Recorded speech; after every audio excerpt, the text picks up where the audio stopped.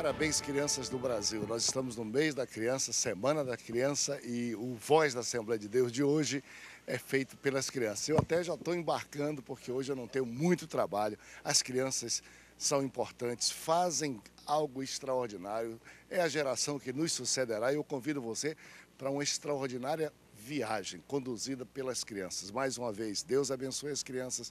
Parabéns, crianças do nosso Brasil, crianças das nossas igrejas, das nossas cidades também. E fique aí, ó, Pregador Mirim, Babé Bíblia, congressos de crianças.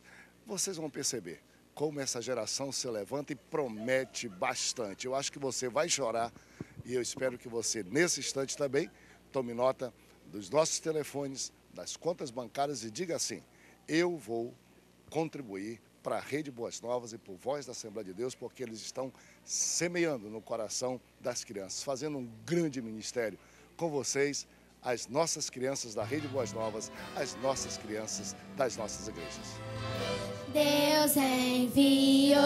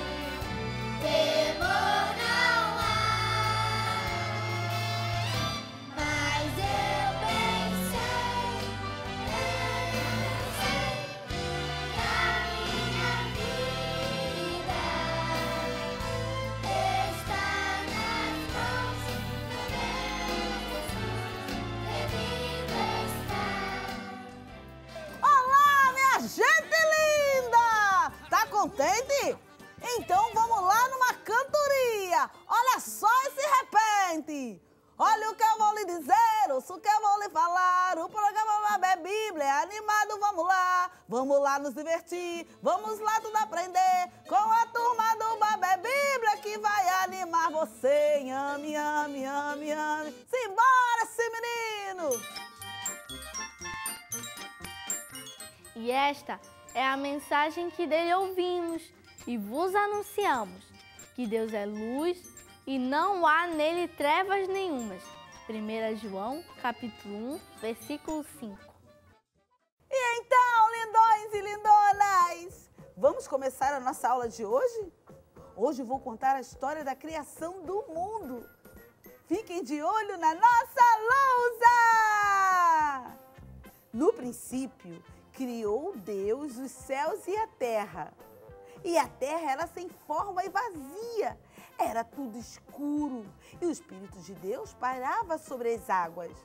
Hum, mas tudo sem forma, sem cor, vazio e ainda no escuro. Foi aí que começou a criação de tudo. Disse Deus: haja luz! E houve luz. E houve dia e noite no primeiro dia. Agora, o que Deus fez no segundo dia? Quem sabe? Dou-lhe uma, dou-lhe duas, dou-lhe três. Quem sabe? Ih, sei não. Se não sabe, é só ler no primeiro livro da Bíblia, bem no livro de Gênesis.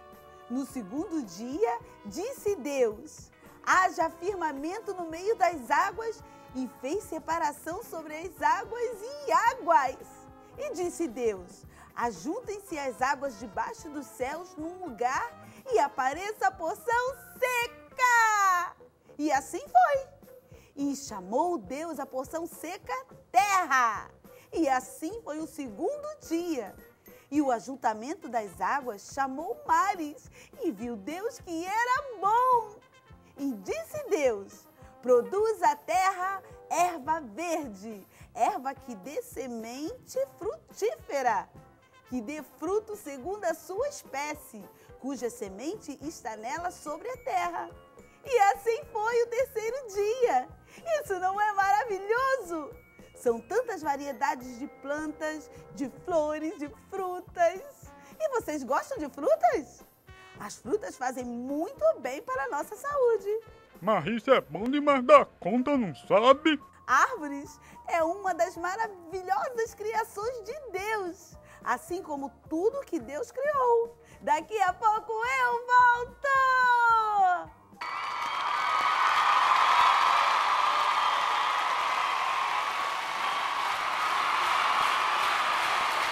Urgente na tela crente. Está entrando no ar mais um plantão criança. É, quer dizer, plantão topete. E hoje, para homenagear as crianças e o programa Babe Bíblia, a Vitória preparou um super show para vocês. É com você, Vitorinha.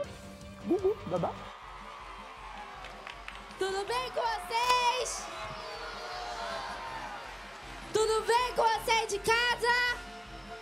Ah, que bom que você está bem! E hoje é um dia super especial, sabe por quê? É o dia das crianças, gente! Poxa, gente, como o tempo passa rápido, hein? Oi, pessoal! Eu também gosto de abelha! Tá se aventurando aí? Tô aqui! O dia é esse dia muito importante das crianças, né? Josias É. daqui a pouco chega. Ah, mas se o Josias chegar vai ter medo. Tem um monte de abelhinhas aqui. Isso mesmo! Poxa, tadinho do Josias. Mas ainda bem que elas não picam, né? E vocês gostam de abelhas lindas? Então eu vou chamar aqui para alegrar a gente a Apelinda Mel do Ministério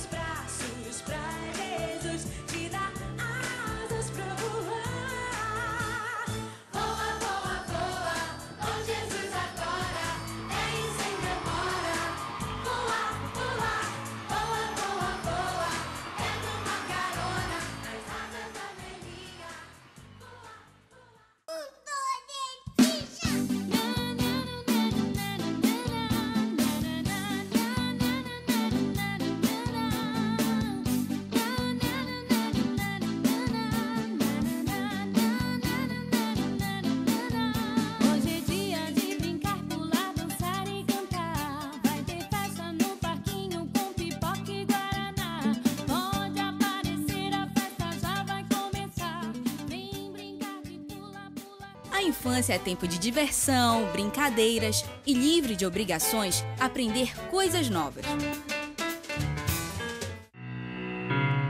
Mesmo assim, muitas crianças têm sido privadas dessa realidade. Deixem que as crianças venham a mim e não as proíbam, pois o reino de Deus é das pessoas que são como estas crianças. Cumprindo a ordem de Jesus, a Missão com Crianças da Assembleia de Deus promove programações onde essa turminha pode aprender brincando sobre a palavra de Deus. E reuniu mais de 20 mil crianças de toda Belém. Historinhas e muita música não poderiam faltar. Em meio a tanta alegria, 30 crianças decidiram entregar suas vidas a Jesus.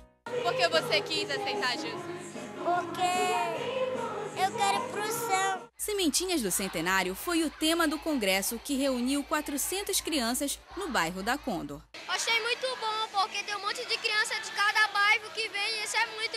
ganha mais alma para Jesus. Por que você quis aceitar Jesus? Porque que Jesus é muito bom, ele, ele cuida da gente, ele nos protege nos guarde de todos os maus. As crianças também participaram do centenário. Na abertura no Mangueirão. Para os pregadores mirins, falar de Jesus é coisa muito séria. E não se intimidaram com a plateia de adultos. O Senhor deu a palavra. Grande é o exército dos os que anunciam as boas novas. Hoje nós trabalhamos com as crianças, com os pais dessas crianças, papai e a mamãe deles, e com os líderes de criança. Dois, sou soldadinho de Cristo. Este ano, só em Belém, mais de 50 mil crianças participaram de seis dias de puro divertimento e aprendizado. O objetivo foi plantar no coração das crianças a visão missionária, além de ensinar a história de 100 anos da Igreja Assembleia de Deus, com direito até uma versão mirim dos missionários Daniel Berg e Gunnar Wingren. Eu sou o fundador da Assembleia de Deus do Brasil. Barreiro é um bairro periférico de Belém. reúne 90% das crianças desta área que não são evangélicas. E é o trabalho social também que a igreja faz, visitando as famílias, trazendo as pessoas aos cultos e também acompanhando as crianças no dia a dia. Músicas, histórias, pinturas, tudo com ensinamentos bíblicos e do jeitinho que criança gosta. O resultado não poderia ser outro.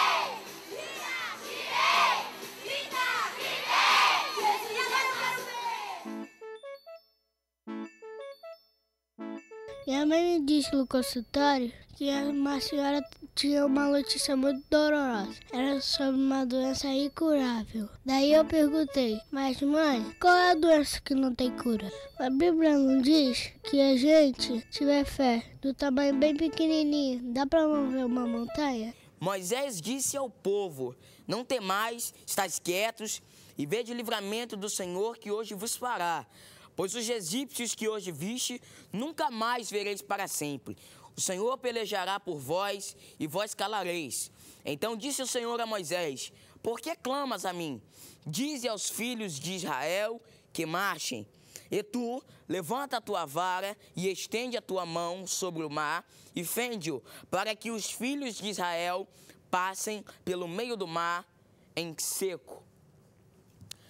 Existem muitas pessoas atualmente que se encontram na mesma situação, na mesma dificuldade, na, na mesma situação de Moisés naquele momento. A Bíblia diz que é, é, o povo, a Bíblia diz que aquele povo estava é, é, temeroso, era um povo que estava é, com medo, um povo que estava com, em uma situação de dificuldade.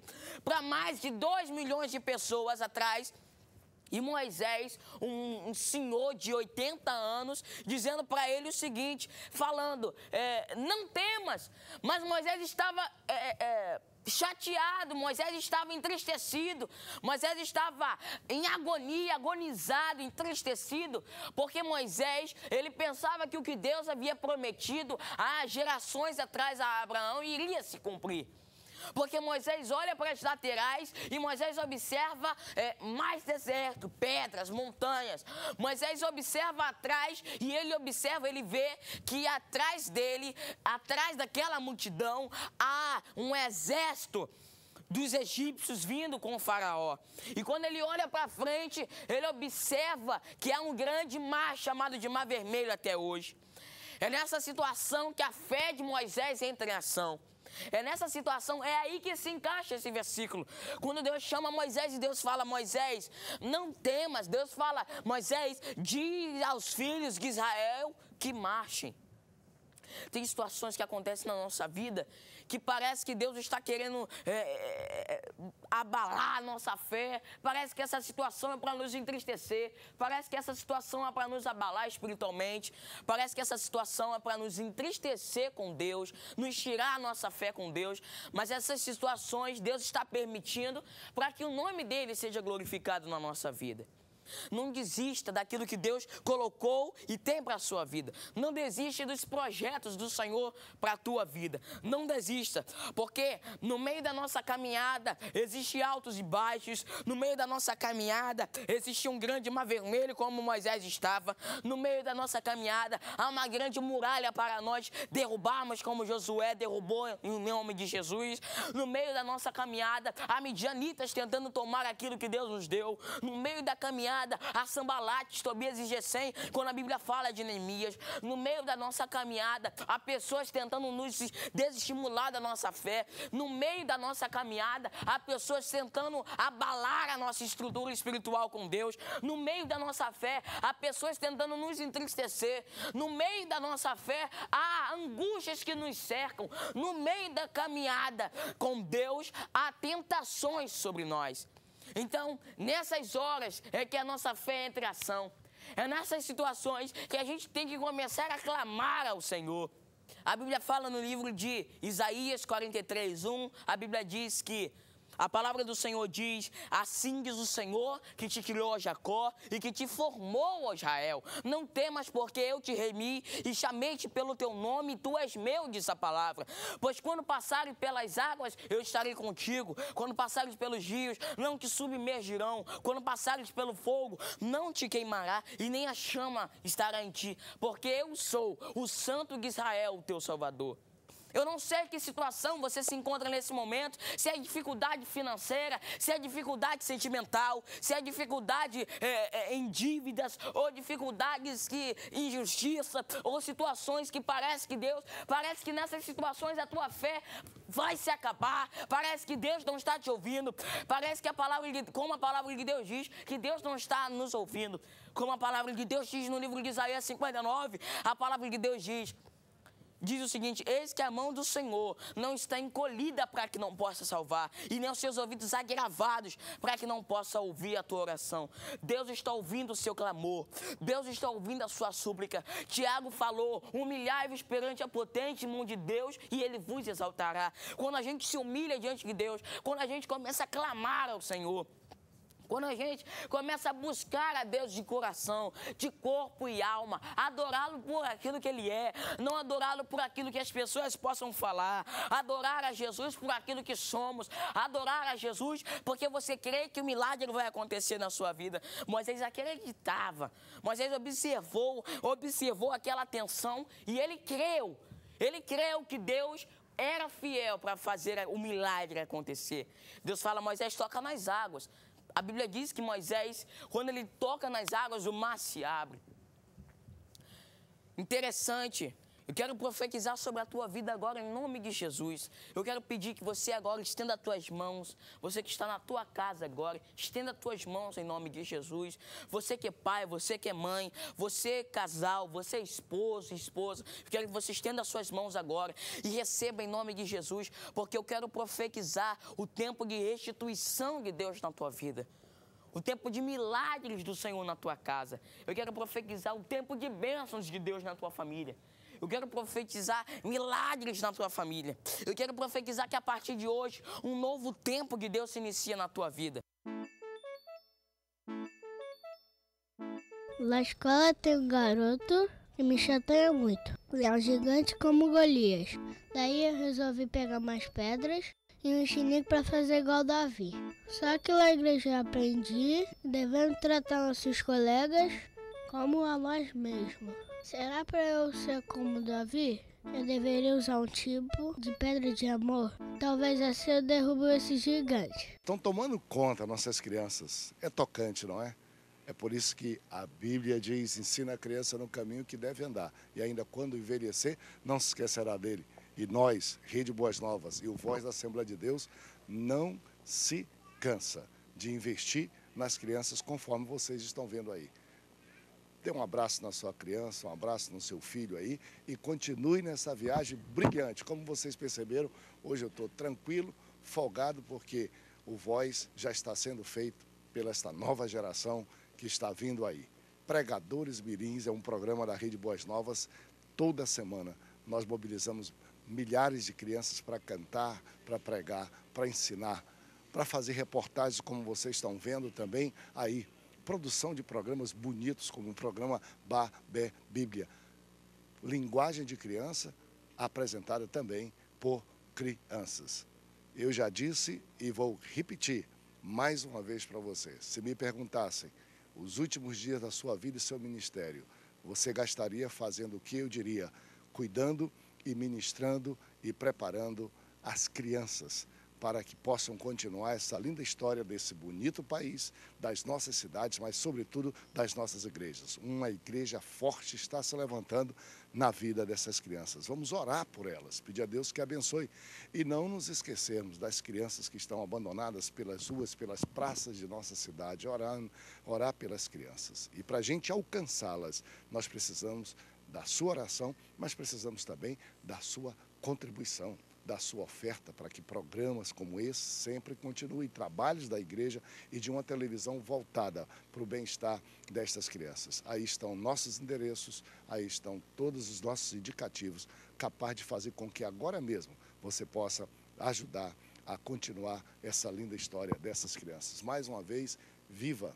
Parabéns às crianças de nosso país pelo mês da criança, pela Semana da Criança, pelo Dia da Criança e por aquilo que vocês fazem. E a viagem continua. É tocante, é emocionante ver crianças fazendo essas coisas.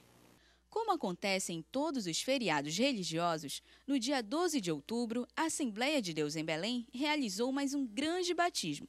Adultos, idosos e crianças, muitas crianças. E no dia que é só delas, o melhor presente é um só.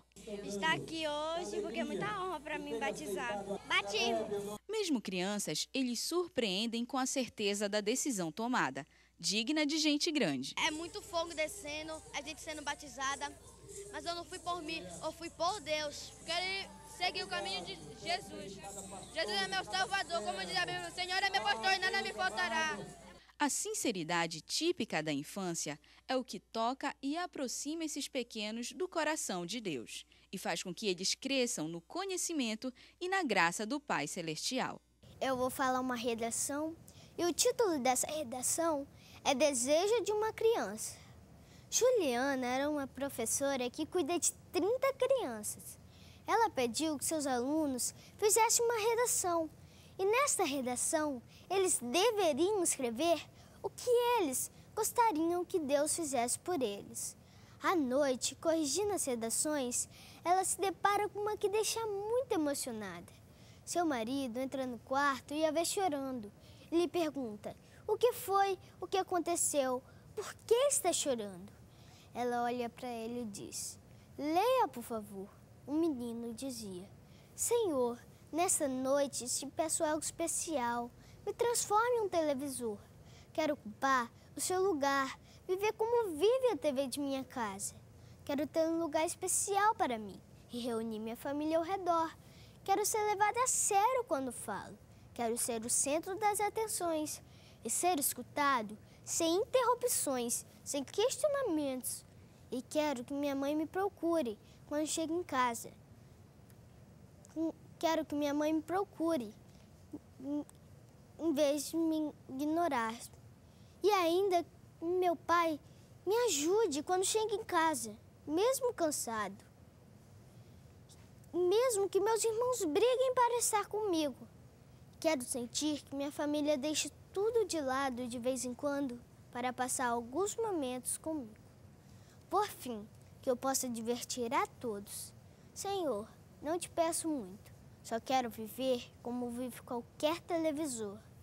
Naquele momento, o marido da professora disse: Meu Deus, coitado desse menino. Nossa, que coisa esses pais.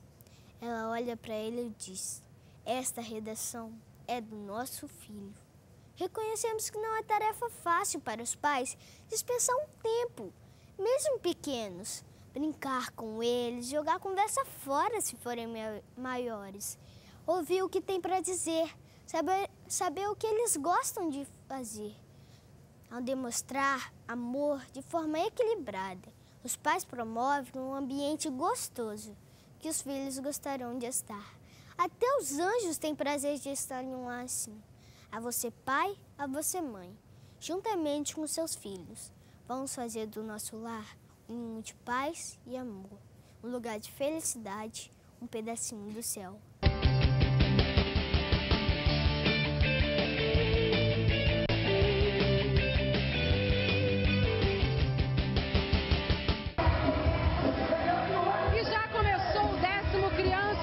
Aqui em Manaus. Crianças de todos os lugares, não só aqui da capital,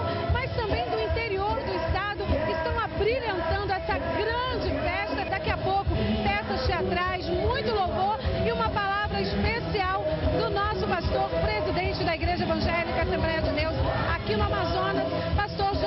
Câmara. Nós hoje estamos aqui com as crianças pequenas e as grandes. Eu sou grande, mas sou criança porque o Senhor Jesus falou: aquele que não se fizer como uma criança não herdará o reino dos céus. Salve o Dia das Crianças, salve a Assembleia de Deus, salve o Deus da Assembleia, salve a Boas Novas. Obrigada, pastor Jonatas. É a Boas Novas na cobertura do décimo Criança Feliz aqui no Auditório Canaã.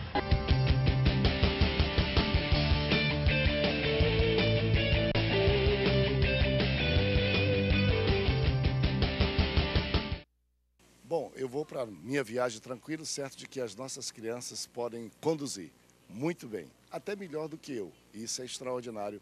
Programas como o Voz da Assembleia de Deus, a Rede Boas Novas e também o futuro das nossas igrejas já está garantido por essa geração que está sendo ensinada por todos nós. Convido você para orarmos juntos pelas nossas crianças e principalmente por aquelas que estão abandonadas nas ruas, nas praças, sofrendo abuso, sofrendo ah, espancamento, possuídos por drogas e outras coisas mais. Senhor, abençoa nossas crianças, que elas possam ter as oportunidades que estas que aqui fizeram, nesse instante o Voz ah, tem, e que as crianças que estão abandonadas nas ruas, nas praças, possam encontrar um lar, um abrigo, um braço, um calor de um papai, de uma mãe, de uma família. Salva as crianças de nosso Brasil e que elas te conheçam como Senhor, como Salvador e descubram o teu amor e sejam saudáveis.